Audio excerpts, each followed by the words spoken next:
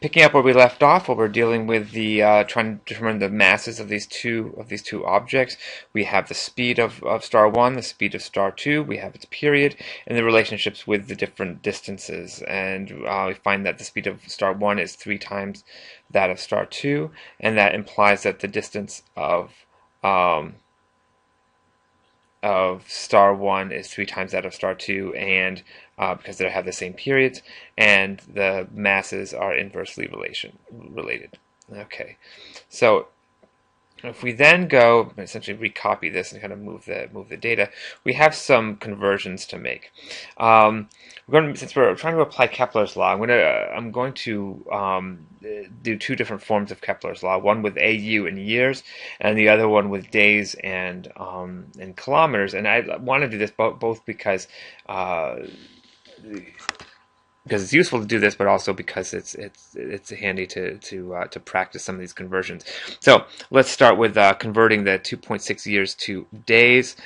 Um, we want to have this equal to days. I happen to I want to cancel years, so I put it down at the bottom, and I have days up here. 365 days in one year, and that turns out to be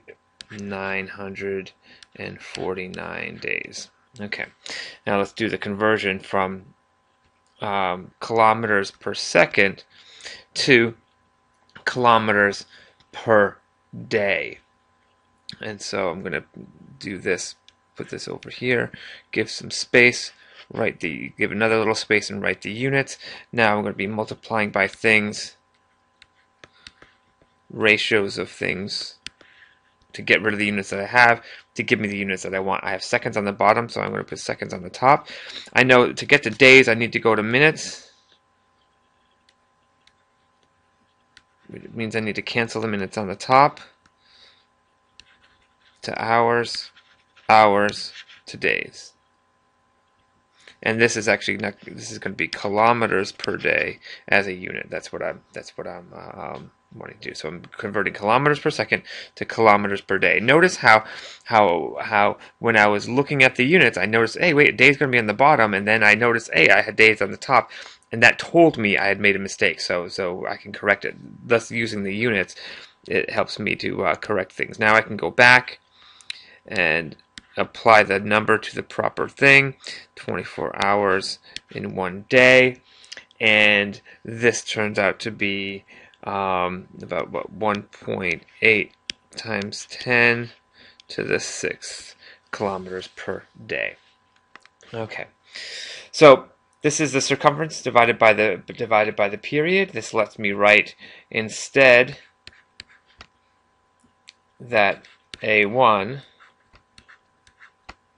is equal to v1p over 2 pi which now is 1.8 times 10 to the 6th kilometers per day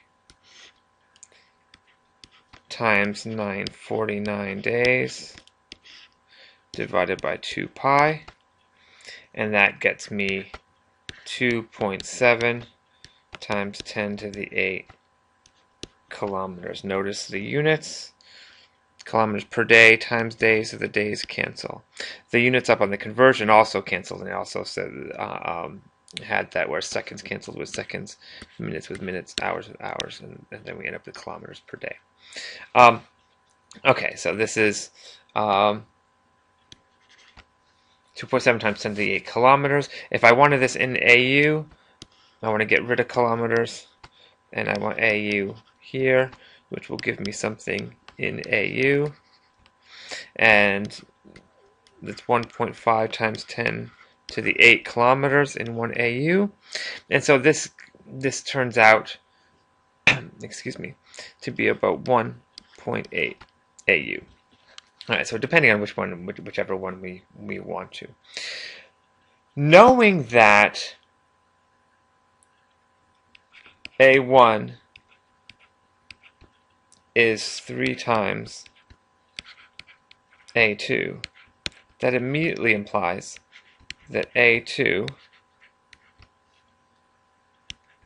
is a third, so we have 9 times 10 to the 7 kilometers, or a third of this, which is 0.6 AU. So we so we have so we have that, and then we have A total is the sum of these two. So the sum of those two, 2.7 times 10 to the 8 plus that gives me 3.6 times 10 to the 8 kilometers, which is also the same as 2.4 AU. Alright. So now we have the period and the um, and the size of the orbit. I can do one of a few things. One is I could apply Kepler's law, and let's say I apply Kepler's law in the form where things are in AU in years, so I end up with A cubed over P squared is equal to the total mass, and this is in solar masses, so I would end up with 2, 2.4 AU, this is cubed, 2.6 years squared. And this gives me 2 and it's going to be in solar masses. And this is the sum. 1 plus the other the other mass. If I want to do it the other in the other way what I what what I will do is the same sort of thing where I'll have m which is going to come out in kilograms is equal to a cubed in kilometers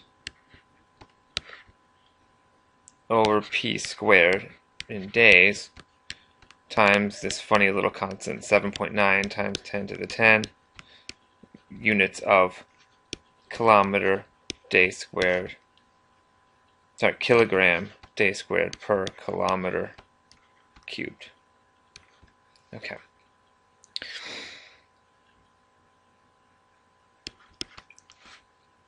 This gives me 3.6 times 10 to the eighth kilometers cubed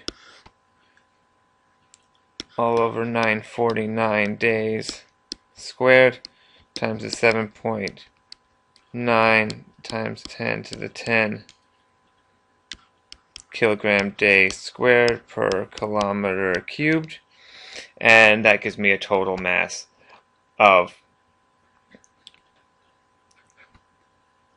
4 times 10 to the 30th kilograms, which is about 2 times our sun. Finally, now that we have the mass combined, what we have is m1 plus m2 is 4 times 10 to the 30th kilograms. But I also have that m2 is equal to 3 times m1, which means this is 4 times m1. So m1 is 10 to the 30th kilograms.